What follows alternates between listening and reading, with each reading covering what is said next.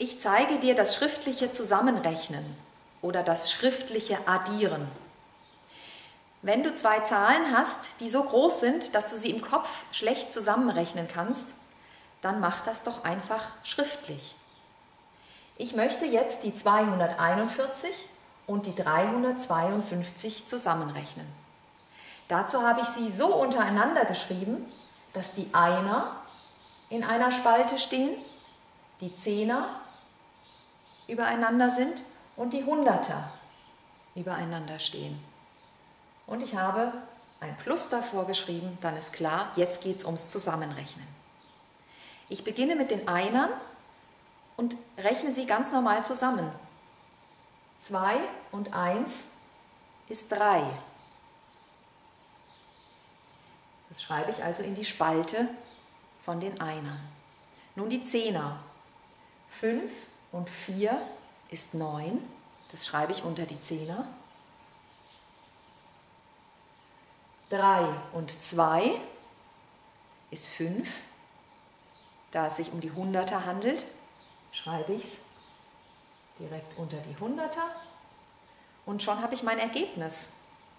241 und 352 ist zusammen 593. Und damit das Ergebnis schnell sichtbar ist, gut erkennbar ist, unterstreiche ich es immer doppelt.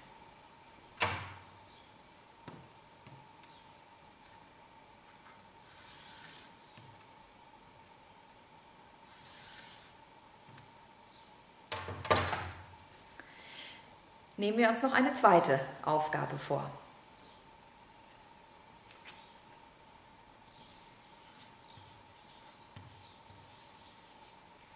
Dreihundertsechsundfünfzig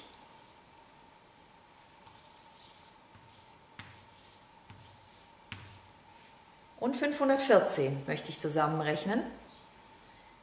Ich schreibe das Pluszeichen vor die untere Zahl.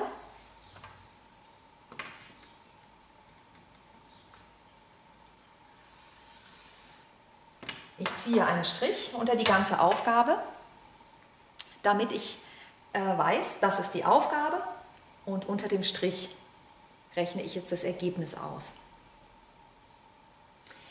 4 und 6 sind 10. Das ist ein bisschen anders als bei der Aufgabe vorher. Denn jetzt ist ja die Frage, wie schreibe ich die 10 hin? Es ist ganz einfach. Hier kann ich nur eine Zahl hinschreiben. Hier darf ich noch keine hinschreiben, denn ich habe ja noch gar nicht mit den Zehnern gerechnet. Aber ich kann mir die 1 von der 10 auf diese Weise merken. So geht sie mir nicht verloren und ich rechne sie nachher mit. Hier sieht man also die 10. Ich fahre fort mit den Zehnern. 1 und 1 ist 2 und 5 ist 7.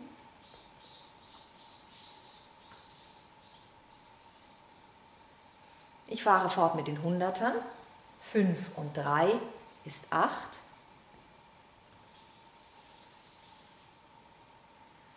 Und mein Ergebnis lautet 870. Ich unterstreiche es wieder doppelt.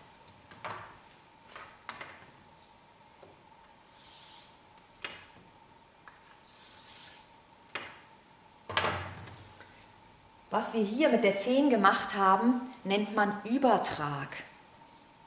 Man überträgt also eine der beiden Ziffern einer zweistelligen Zahl hier über den Strich einfach zur nächsten Spalte, die man berechnen wird. Probieren wir das an einer dritten Aufgabe aus.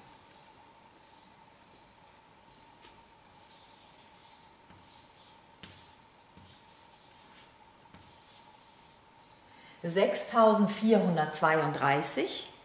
Jetzt haben wir also eine Tausenderzahl.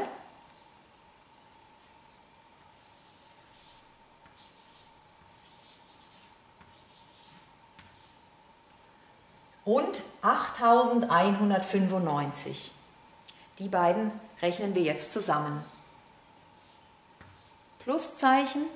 Und wenn ich jetzt einen Strich drunter setze, ist es gut, ich lasse ein bisschen Abstand zur Aufgabe, damit ich mir die Übertragszahlen nachher besser notieren kann.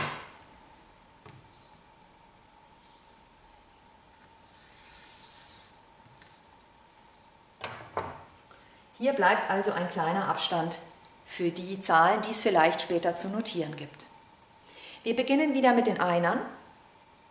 5 und 2 ist 7.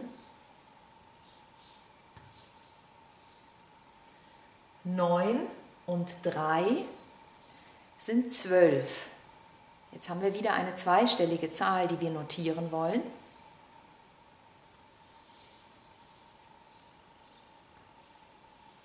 Und wir notieren sie so. Die 12 lässt sich ja immer noch erkennen.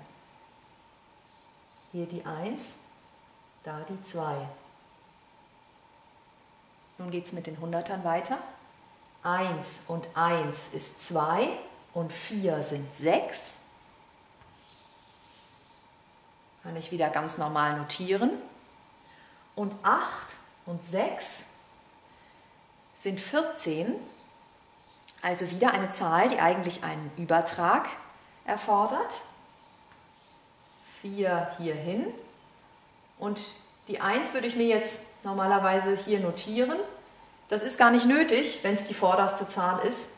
Da kann ich sie auch gleich hier hinschreiben. Denn hier steht ohnehin nur die 1. Ja, ein fünfstelliges Ergebnis, 14.627. Ich unterstreiche es.